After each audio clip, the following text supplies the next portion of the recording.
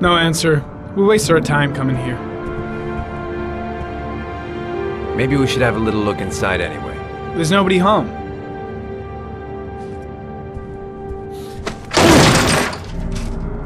There is now. I'm not sure that's entirely legal. Call the cops.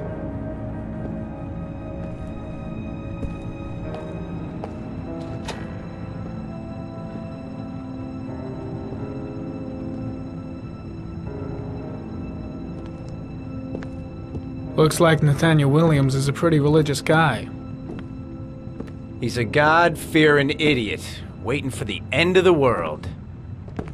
We questioned him a few months back because he was causing a disturbance in the park. He was ranting and raving. Said he heard voices. Had this idea in his sick little head that I was the Antichrist. I'd come to Earth to persecute him. Real twisted.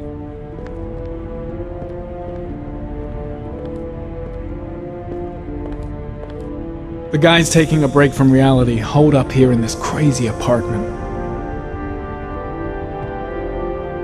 All the signs of a mystical obsessive neurosis compounded by a persecution complex. You don't have to be a profiler to see he's not a killer. We're wasting our time here.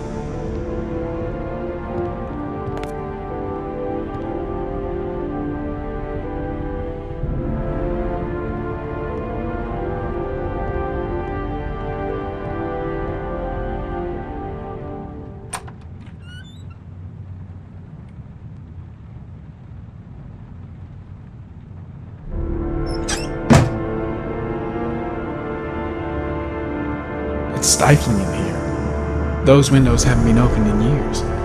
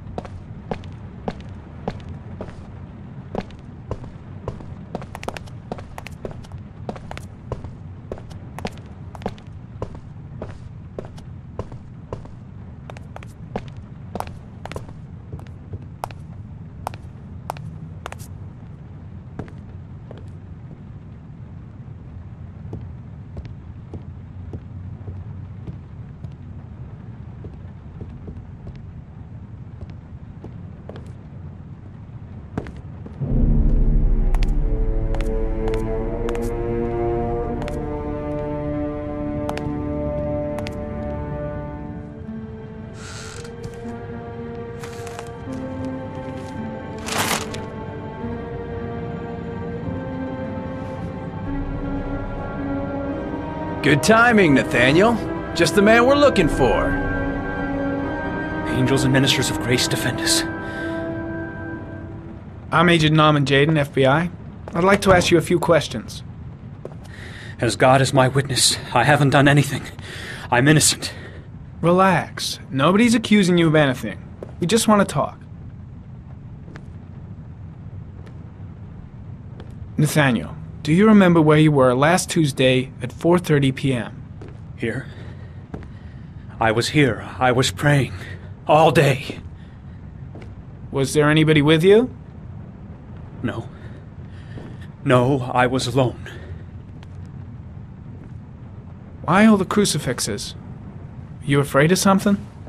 The hour is nigh, and the wrath of God shall strike men down. I'm preparing for the end of the world. You were arrested in a case where a child disappeared from a park. What exactly happened? I'm innocent. I have nothing to do with those murders. I was in the park because God spoke to me. I was arrested because I am the chosen one. That's all. What about the voices, Nathaniel? Do you still hear the voices? We know who talks to you, don't we, Nathaniel? Or we both know who talks to you. Don't speak that name. I guess Blake's trying to break him, but what good is a confession what if he say to you, does? Nathaniel? I can't. I gotta stop Blake. it. He's going too far. Mustn't talk about it. He orders you to go Blake, and find new what are you prey, doing? doesn't he? He needs more and more. Maybe Blake knows what he's doing after all. No! You mustn't mention him. You'll bring him here. He told you to go and find that kid in the park. The voices tormented you all night long. You wanted them to stop, didn't you, Nathaniel? Stop! Stop! That's enough! So you obeyed them to make them stop. You took that boy with you and you drowned That's him. enough. Isn't that right? Leave him alone. No! Shit! Blake is totally out of his mind. I can't just stand around and do nothing. Nathaniel? Are you gonna confess, you bastard?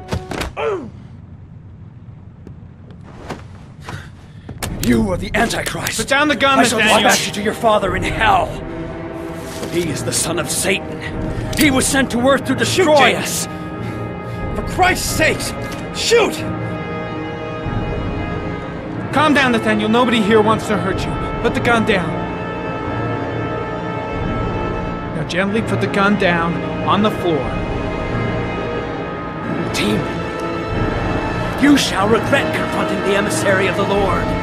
You shall know divine power. Lieutenant Blake is gonna leave our planet right now and return to the What? realm of shadows. Creature of darkness, I do beseech you to return to the realm of shadows and leave our Nathaniel in peace. Christ all powerful, defend us in our battle with the forces of evil. Protect us from the cunning and wiles of the demon. May God Almighty manifest the power of his empire, and may divine power cast Satan and all the other spirits that prowl the world in search of souls into the darkest depths of hell. Concentrate on my voice, Nathaniel. Listen only to my voice. Back away, slowly.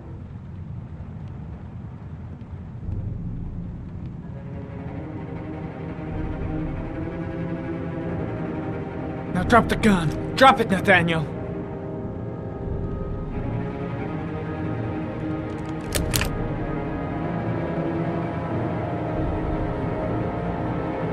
Put your hands on your head.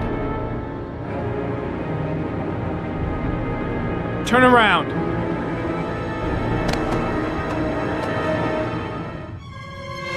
Motherfucker!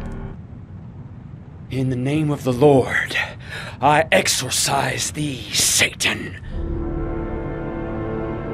Okay, freak, the show's over. You're under arrest. Pretty damn cool under the circumstances. I would have just shot him. A gun isn't the answer to every problem, Blake. Maybe not, but most of the time it helps.